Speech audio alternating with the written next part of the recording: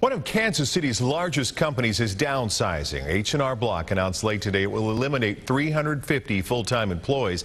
Now, on top of those layoffs, 200 offices around the country will close. Sayed Shabir is live downtown with what employees are saying about the cuts tonight. Sayed?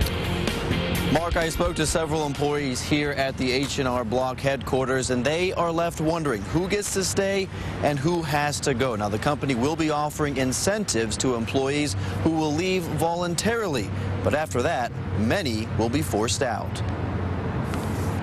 They could come up to us at any minute and just say, you know, the future for Gabriel Rodriguez is unknown. It's a sad situation. The young father is a subject matter expert at H&R Block which Wednesday announced it will be eliminating 350 full-time employees. You build a lot of relationships with your coworkers, um, so that's, I guess, what's the hardest part to deal with is just watching someone go, let go like that. Jeremiah Grams is an associate manager for the company's call center and says the employees were notified of the downsizing earlier this week. We had a meeting that we had to go to and call in, and that's how we found out from the bigwigs. Grams had been with the company for four tax seasons and says losing his job would be devastating. I don't know what I would do, uh, especially if I got caught off guard, uh, especially how hard jobs are right now.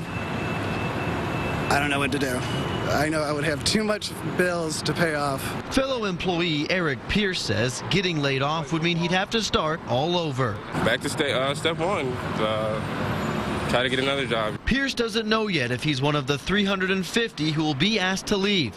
But while he wonders, his executives in the top offices will save about $100 million by the end of 2013.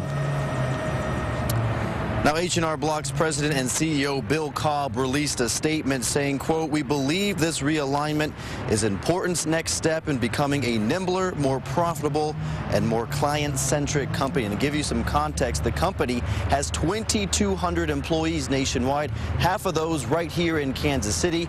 These 350 layoffs will cut the workforce by 16%. Live downtown, Sayed Shabir, 41 Action News.